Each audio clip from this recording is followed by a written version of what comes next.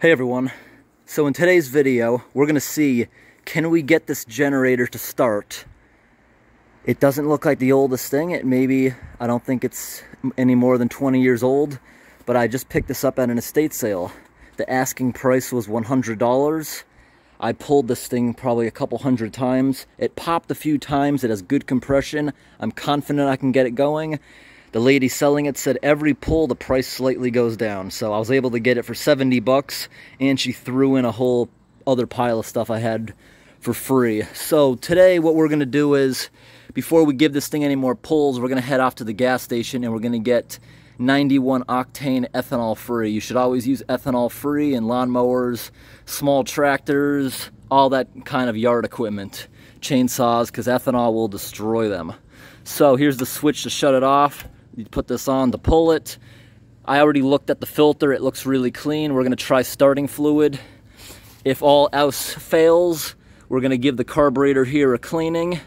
I try to start in every position. It only popped a few times. The oil level looks good, but we're going to pull this plug and we're going to give it an oil change because I want to get this thing ready to go just in case there's a power outage. I want this thing to be able to run during a heat wave for the air conditioning been very hot out lately. It's, today is supposed to be in the 90s again. Uh, the shade will probably be gone by the time I get back to work on it. This thing has a pretty good gas tank. It looks like it can maybe hold five gallons in here. It has a few gallons in there now, so I'm going to disconnect the gas line, let it bleed out into a pan, and I'll dispose of that. I want to put new fuel in here. And I was also messing with, up top right here, there's a little valve. And if it's all the way out, still didn't start. A little bit in, doesn't want to start. There may actually be a clog because there is probably a little filter here up inside the gas tank. I gave it, gave it a whiff. It smells all right. I open it up right here. See, it's cracking a little bit. There was a little bunch of little pieces of rubber all around here. So at some point, that's going to need to be replaced. Not a big deal at the moment. And it came with this cord here, which I'm assuming was maybe used for an RV. That's what I'm thinking. I'm to remove this end, and I'm to put a female normal plug on. Oh, this is actually a 20 ampere, so I'm actually to replace both ends because I don't really need that for anything. So I'm to put a 15 amp male and a 15 amp female, and that'll be good for running any household just items in the house. And if there's a power outage in the winter time, I'm to need to run the furnace. My furnace is not the newest, but it's 22 years old. It's new enough to have a technician service plug on it that runs on the same breaker. That will allow me to backfeed through that plug.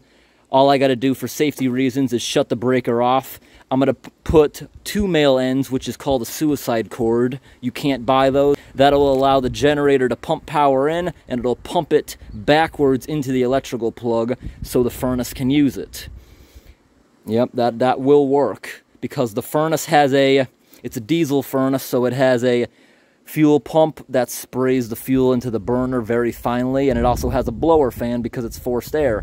That'll allow my diesel furnace to run in the wintertime. I've been looking for a generator for years, but didn't want to pay the cost. A machine like this would probably be $1,200, maybe a little bit less these days. Looks good. Gonna give this a good dusting. So it has two 15 amp plugs right here, normal household ones. Here's the two little breaker resets. Not sure what's in here, possibly fuses. I don't have big fingernails. I usually cut them off before they get ripped off. I'm not exactly sure what that is. If anyone can tell me exactly what that is, I'd like to know.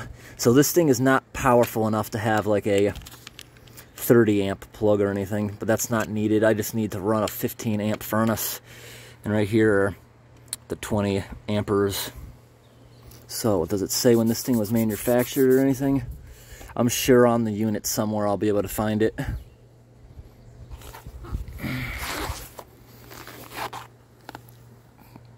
All right, let's head off to the store.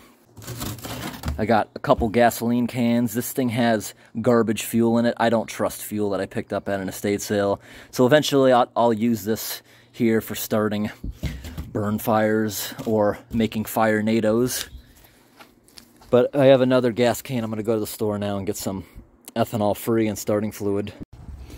All right, everyone, so the first thing I'm gonna do here is put this pan down. I'm gonna disconnect the gas line here so I can drain everything out of it. In the meantime, I'm gonna start cleaning the whole machine. Getting all the dust off it. I did buy starter fluid and high octane gas, ethanol free. This is really on here. Probably hasn't been off in a while. Here we go. I'm on off. Here we go. Now it's time to open the little valve. And we're gonna let that drip out. In the meantime, I'm gonna start doing some washing.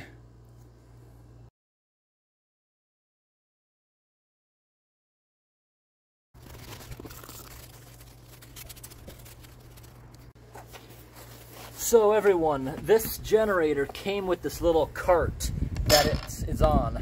When I pulled it out of this person's basement, I had to drag it because one of the wheels here is completely seized. We're gonna see by the end of this video if we can free this up.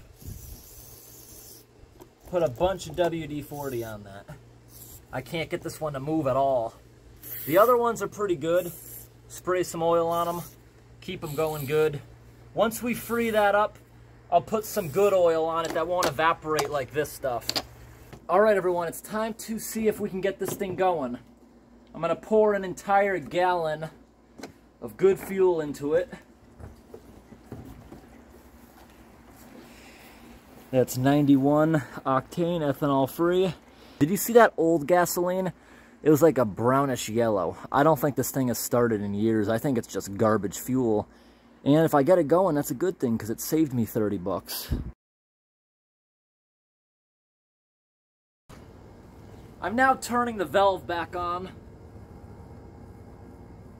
This thing sitting in the sun is building a lot of pressure. This black tank is creating a lot of pressure with the heat conducting on it.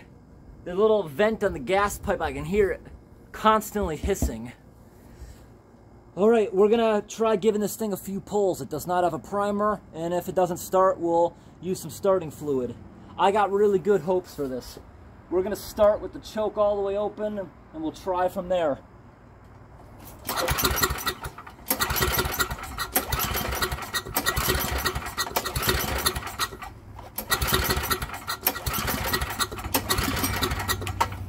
All right, time for the starting fluid. Here we go.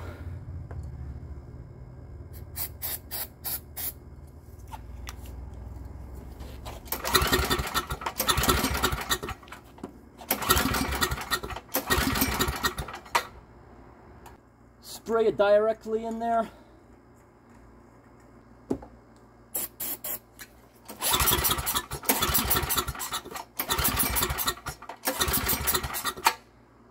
Let's adjusting that a little bit.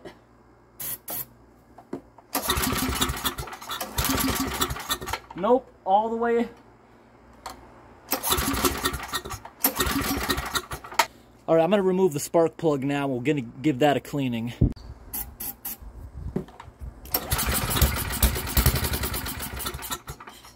Almost. I guess it may have been the spark plug. I just cleaned it and it almost started. Choke is fully on. Let's get it off of that because it uh, tried to start. A little bit more starting fluid. Let's hope it stays going.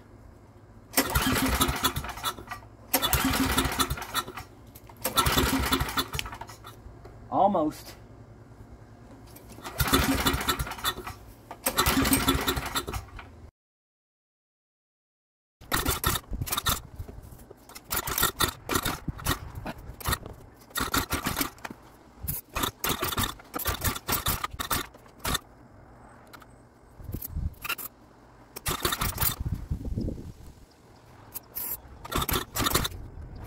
So I just took apart the carburetor, the screw on the bottom there.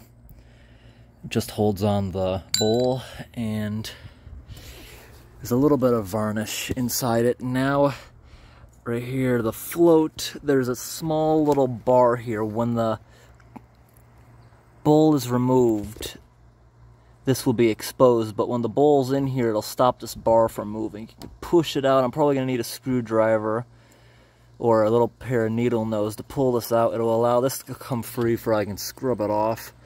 And then I'll do a little bit more cleaning in there.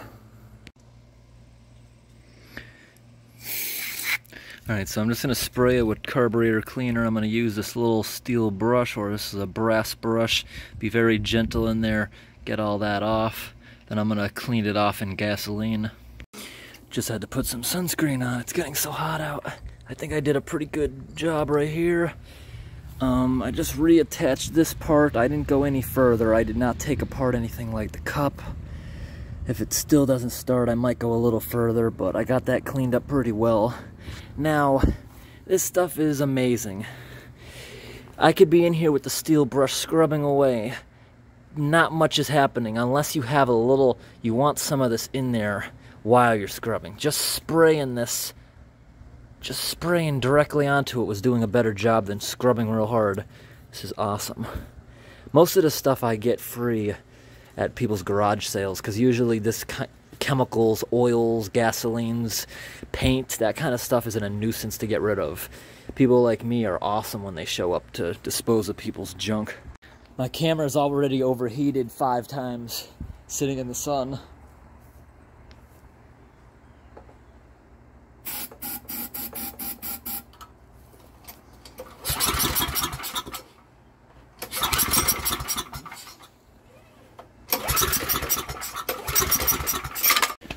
It just started for a brief 10 seconds.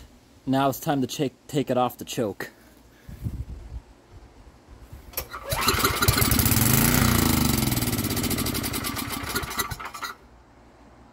All right, that's a good sign. Try it again.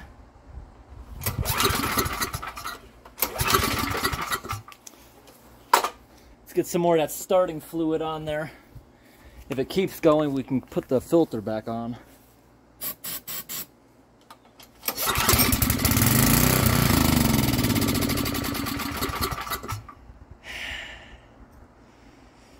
All right, maybe the carburetor is going to need a few more adjustments.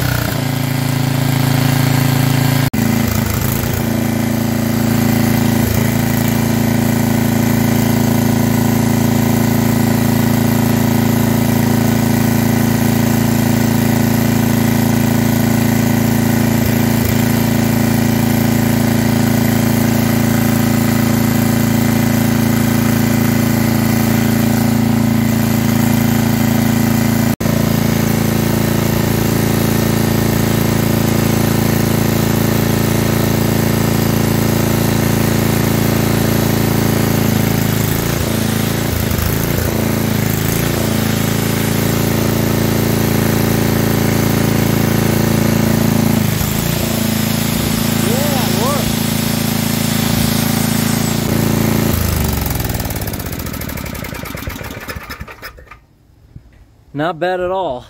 It's working for now. I still can tell it needs a few more adjustments.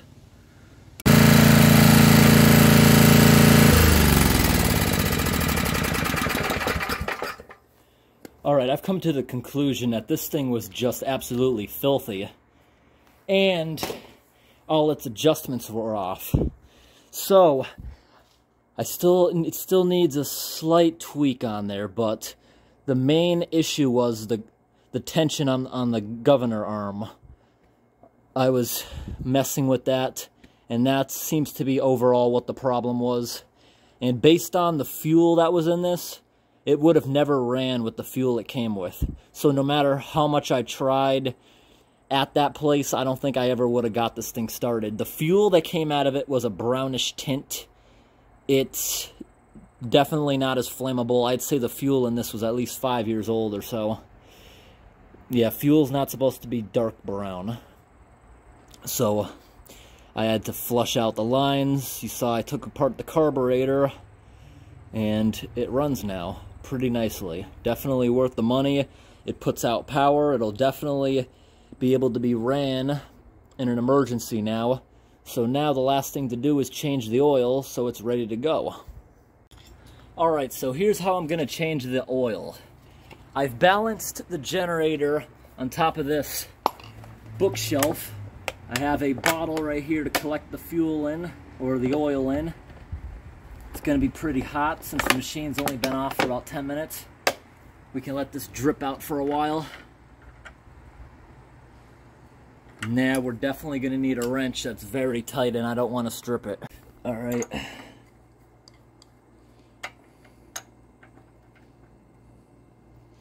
Here we go, we cracked it. Slowly coming along plug's not that hot, but the oil's probably going to be scalding hot because I let this thing run for about a half an hour. And I noticed the more it ran, the smoother it got. Here we go. This is going to be very... Yeah, I can feel it. Come on. I'm going to turn it the rest with this so I don't drop it and get burned. There we go. It's going right down into the bottle. We can let that drip for a bit. Oh, I'm spilling a little bit of it. Gotta move the machine a little bit. Here we go.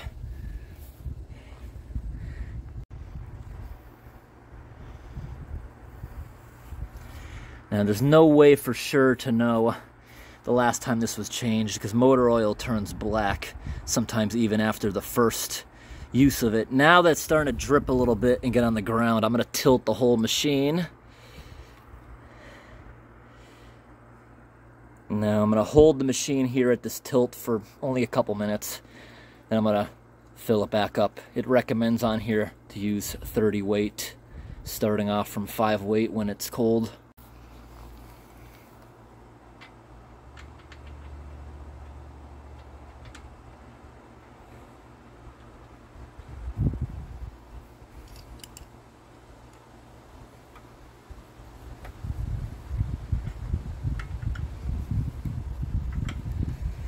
Not too tight. We don't want to crack anything. I'm just going to turn it a little bit with the wrench.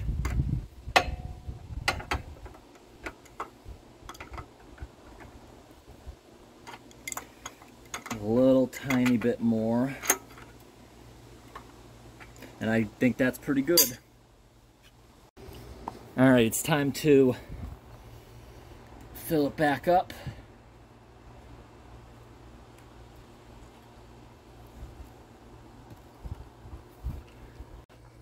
So this generator does not say anywhere on it how much oil it needs, and I looked it up online. I can't find this model of generator because it is older, so we're going to have to play a little game here. We're going to start off with some oil, and once I get half of this in there, we're going to check a dipstick, see if it needs any more. Is that about half? A little more. Typically a machine like this uses between 400 and 600 so I think it's about time that we try with the dipstick see if it needs anything else make sure this is cleaned off on my shirt. And then we can stick it in there. I would much rather prefer this kind of dipstick over the metal ones you slide down because the metal ones rub against the walls and it takes a while to get an accurate reading after pouring. So, I honestly can't tell. I didn't wipe that off good enough. I want to get this thing completely dried off. I can't tell.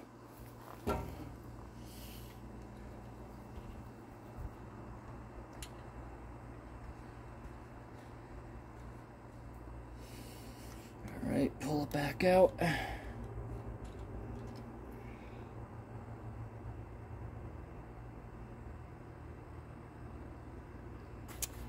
Hard to tell, but it looks like we're at the minimum level for oil, so pour uh, a little bit more in. Now we'll give it another dip.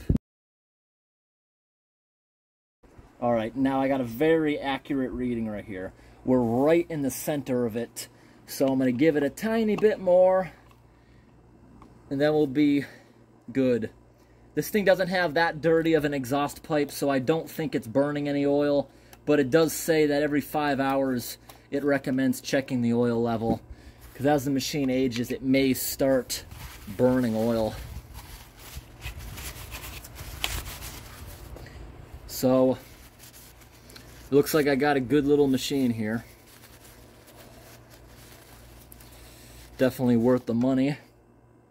The machine doesn't look like it's in that much, it, doesn't look like it's in very bad shape. It just looks like it wasn't taken care of.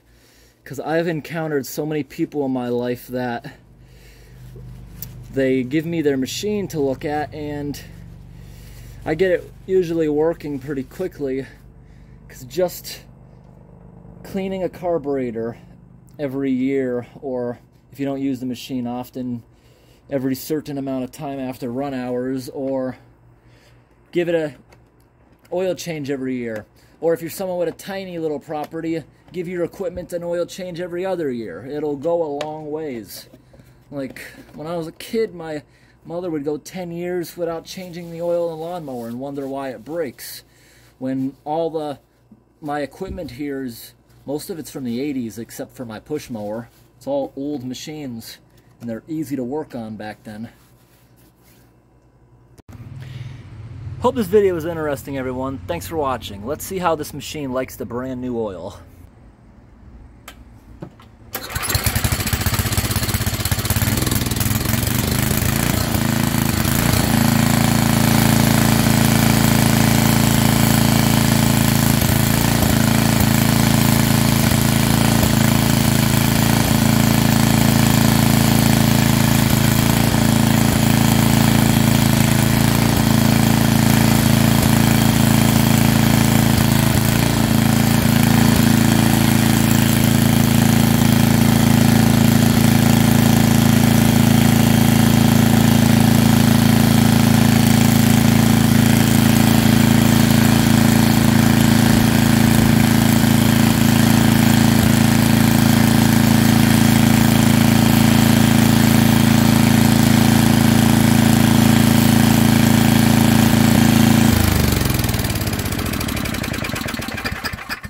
Now this machine I may not use again for years. And I'm definitely going to operate it occasionally to make sure it's running. But because it's probably going to go sit now somewhere for another six months before I start it back up, always use fuel stabilizer so it doesn't go bad like that guy's fuel did.